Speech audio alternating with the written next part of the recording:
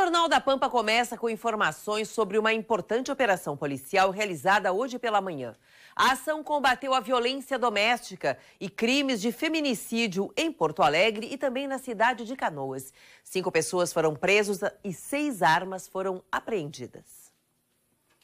Foram cumpridos 17 mandados de busca e apreensão e outros sete de prisão preventiva. Cinco pessoas foram detidas. Durante as buscas, os policiais encontraram munições de diversos calibres e uniformes usados pela Polícia Civil Gaúcha. Seis armas também foram apreendidas. Que são armas que estão nas mãos aqui de criminosos, que são pessoas que praticam violência dentro de casa. Então, se essas armas não são retiradas das mãos desses criminosos, se eles não são retirados de circulação, certamente aquela lesão que começa com uma lesão, eu vou usar um termo aqui técnico jurídico leve, né, mas que de leve não tem nada, pode levar a um feminicídio dentro de, de casa. A Operação Temes combateu a violência doméstica e também o feminicídio, crime hediondo e inafiançável.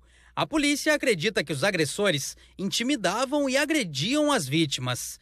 As cinco pessoas presas hoje foram detidas porque descumpriram medidas protetivas. Operações como a de hoje, realizada pela Delegacia da Mulher, comprovam que muitas das vítimas acabam se reconciliando com os próprios agressores. Conforme a Polícia Civil, a dependência não é apenas emocional. Existem inúmeros fatores envolvidos nessas questões de violência doméstica, familiar e afetiva, até porque vítima e agressor têm vínculos familiares, afetivos, domésticos. Então, isso, claro, que dificulta e muitas aguentam por muito tempo caladas. E a dependência econômica, embora não seja o principal fator, é um fator bastante presente na maioria dos casos. Esse tipo de trabalho faz com que tanto a vítima se sinta segura quando procura os órgãos policiais, como serve também de alerta para aqueles agressores que ainda não acreditam na força da Lei Maria da Penha e das consequências que a violência doméstica e familiar pode trazer contra si. O Rio Grande do Sul é o estado que mais concedeu medidas protetivas da Lei Maria da Penha em 2017.